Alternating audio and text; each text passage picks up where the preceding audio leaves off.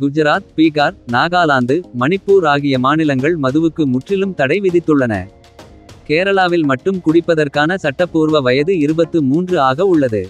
மகாராஷ்டிரா மாநிலம் மும்பையின் போர்லி பகுதியில் ஜூலை ஏழாம் தேதி அதிகாலையில் அதிவேகமாக சென்ற பிஎம்டபிள்யூ கார் மோதியதில் பெண் ஒருவர் உயிரிழந்தார். அந்த பெண்ணின் கணவர் படுகாயமடைந்தார். குடிபோதையில் விபத்தை ஏற்படுத்தியதாக சொல்லப்படும் மிகிர் ஷா என்ற இளைஞர் கைது செய்யப்பட்டார். இந்த வழக்கின் முக்கிய குற்றவாளியான மிகிர் ஷா இருபத்து நான்கு தனது வயது இருபத்தேழு என்று போலி அடையாள அட்டையை பயன்படுத்தியதாக கூறப்படுகிறது. மகாராஷ்டிராவில் சட்டப்பூர்வ குடிப்பழக்கமான இருபத்தைந்து வயதுக்கு மேல்.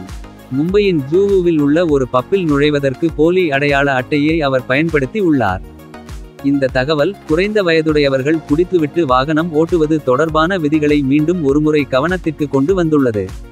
இந்தியாவில் குடித்துவிட்டு வாகனம் ஓட்டுவதற்கான வயதை ஆராய்வோம். குடிப்பதற்கான சட்டப்பூர்வ வயது நாடு முழுவதும் மாறுபடும். இந்தியாவில் குடிப்பதற்கான சட்டப்பூர்வ வயது மாநில சட்டங்களை பொறுத்து பதினெட்டு முதல் இருபத்தைந்து ஆண்டுகள் வரை பரவலாக மாறுபடுகிறது. குஜராத் பீகார் நாகாலாந்து மணிப்பூர் ஆகிய மாநிலங்கள் மதுவுக்கு முற்றிலும் தடை விதித்துள்ளன. ஹரியானா கோவா மகாராஷ்டிரா சண்டிகர் மேகாலயா மற்றும் பஞ்சாப் போன்ற மாநிலங்கள் சட்டப்பூர்வ குடிப்பழக்க வயதை இருபத்தைந்து ஆக நிர்ணயித்துள்ளன. அதே சமயம் உத்தரப்பிரதேசம் ஆந்திர பிரதேசம் மேற்கு வங்கம் மற்றும் தமிழ்நாடு உள்ளிட்ட சில மாநிலங்கள் இருபத்தொன்று வயது வரை மது அருந்துவதை கட்டுப்படுத்துகின்றன. கேரளாவில் மட்டும் குடிப்பதற்கான சட்டப்பூர்வ வயது இருபத்து மூன்று ஆக உள்ளது. இந்தியாவில் சட்டப்பூர்வ குடிப்பழக்க வயது இருபத்து மூன்று ஆக இருக்கும் ஒரே மாநிலமாக கேரளா.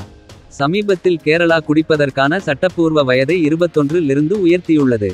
கோவா ராஜஸ்தான் இமாச்சல பிரதேசம் கர்நாடகா சிக்கிம் மற்றும் புதுச்சேரி போன்ற மாநிலங்கள் பதினெட்டு வயதில் பீர் உட்கொள்ள அனுமதிக்கின்றன. இருப்பினும் அந்த மாநிலங்களில் மதுபானங்கள் அருந்துவதற்காக வயது வரம்பு அதிகமாகவே உள்ளது.